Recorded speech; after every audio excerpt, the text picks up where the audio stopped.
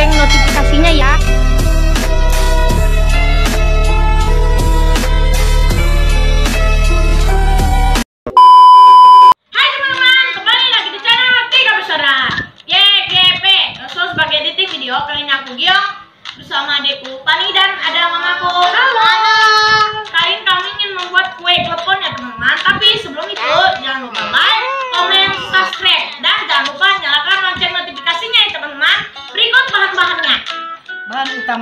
Untuk kita bikin klepon adalah ubi ungu yang sudah kita rebus lalu kita hancurkan seperti ini, ini jadinya.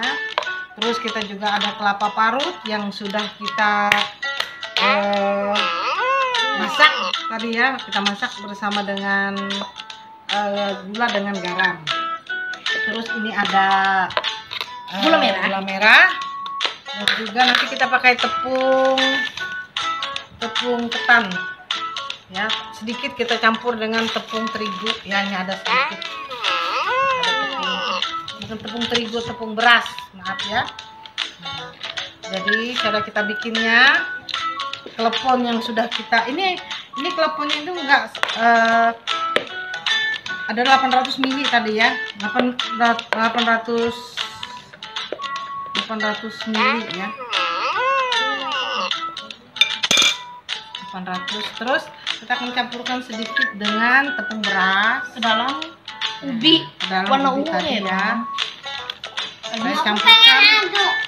Nah ini kita bikin itu ya teman-teman. Klepon warna ungu. Betul. Enggak, warna Nah, hijau. terus kita campur dengan eh, tepung ketan.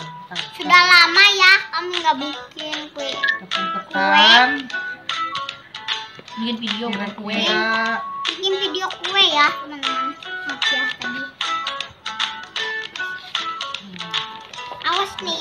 Ya. ya ntar bentar, bentar.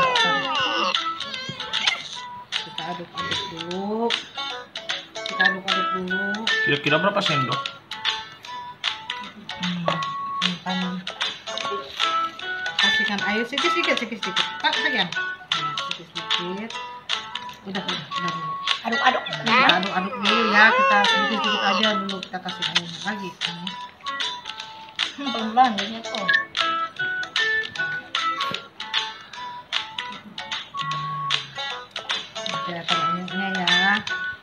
Ayo tambahkan air lagi. Kita kan air.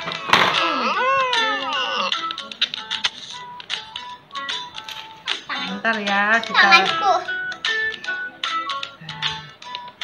bikin seperti ini. Uh, sudah kelihatan ya. Uh, nih. Bukan Sama kita tunggu airnya. yang tuh. Kira-kira aja ya sampai kleponnya, sampai bahan ini bisa kita Meratakan. hmm, bisa kita bentuk. Biar panas Bakar tanganku. Sampai kita bentuk.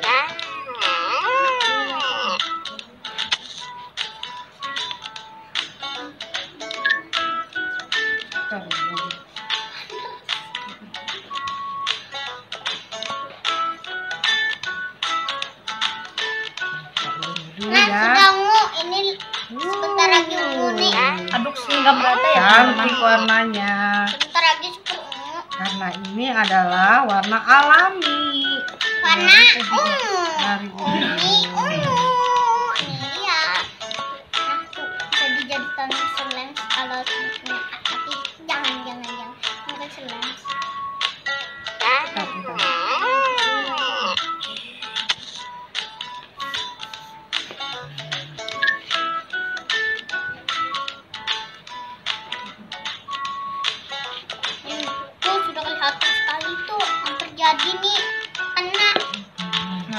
adukannya merata ya teman-teman Kita rata Sampai rata. Nah, ini yang sudah jadi tadi ya yang kita campur dengan tepung ya. Ini Ini teman-teman hasilnya seperti ini. Kuningnya kita bentuk pula mau bentuk dulu ya. Kita bentuk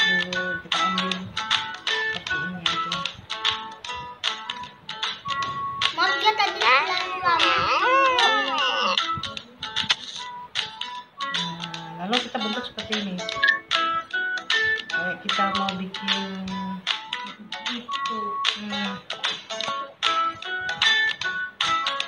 oke bentuk mangkok ya teman-teman. Lalu masukkan ini mangkok. Salah tuh hmm? kita masukkan sesuai selera kalau ini. Lalu ditutup teman-teman. Kita tutup. Hmm.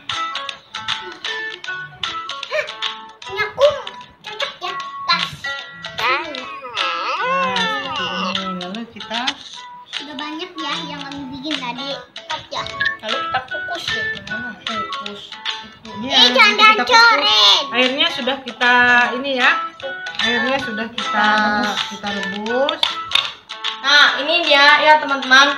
Kue kleponnya tadi sudah kita bentuk, sekarang kita rebus. Di sini juga kita memasukkan daun pandan agar harum ya teman-teman di airnya. Nah, juga kalau kue klepon ini sudah jadi, ini tanda-tandanya kue klepon ini timbul ke atas sini ya teman-teman. Artinya sudah matang. Nah, ini ya teman-teman hasil dari kleponnya tadi. Sekarang sudah direbus, sekarang kita akan mencicipinya ya teman-teman. Kita akan mencicipi ini. Coba ya teman-teman. Juga ini tadi sudah dikasih parutan kelapa teman-teman kita coba.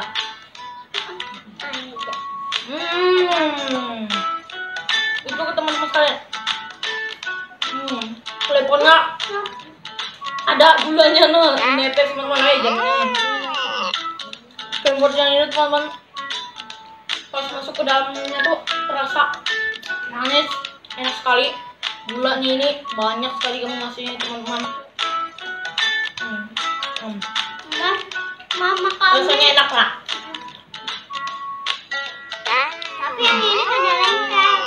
Mantap.